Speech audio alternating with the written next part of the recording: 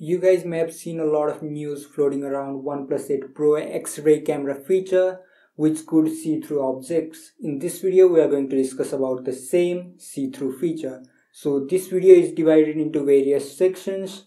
In the first section we are going to discuss about is this really a X-ray feature and in the second section we are going to discuss about how does this work and after that we are going to discuss about can this feature bring privacy concerns and after that we are going to talk about is this a completely new technology? And after that how OnePlus can resolve this?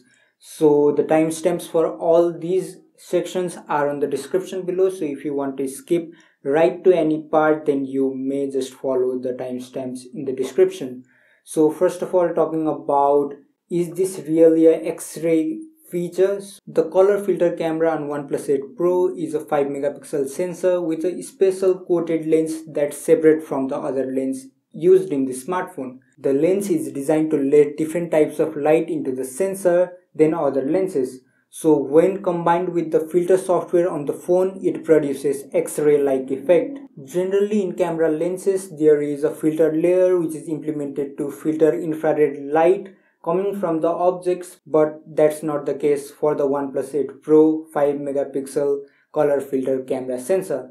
So we may conclude that it is not X-ray, it is rather infrared ray which is not harmful to human body. So now let's talk about how does this work. The general rule here is if infrared light can pass through a surface, then OnePlus 8 Pro color filter camera can see through it. For example, you look at the end of a TV remote which uses IR signal to control TV. The end cap of remote looks black to your eyes but the plastic allow IR through it. The same goes for bezels on a smartphone where behind the back glass you will see various sensors and camera. The hardware can see through the tinted glass but your eyes can't. But does this mean that it can see through any objects? The simple answer is no there is a type of plastic which is known as IR permeable plastic which does not block the IR light or infrared waves.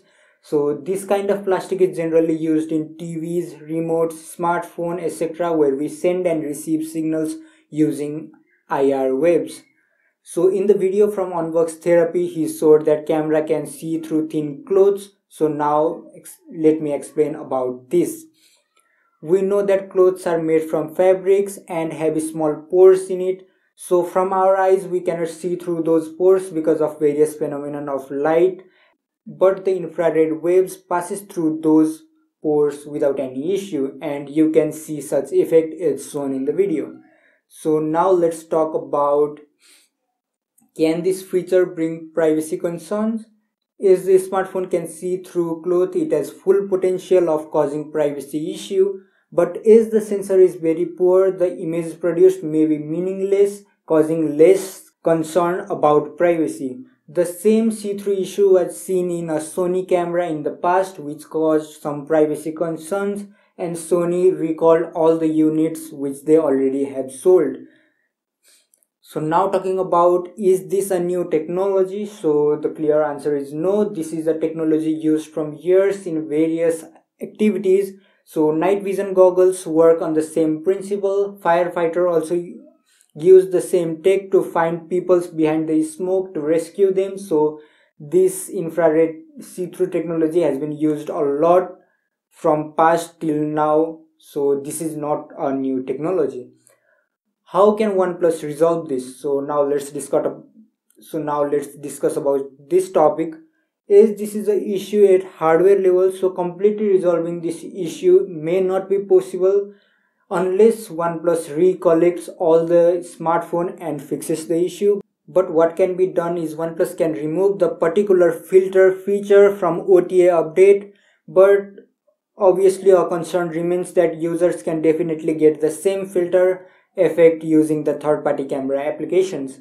So this is all for the detailed video on OnePlus camera x-ray effect which is basically not a x-ray feature but this is just a issue which could not filter the IR waves coming from the objects. So if you find this video useful then a like and comment would be appreciated. Also to know about smartphone leaks and such explanation video hit the subscribe button until my next video.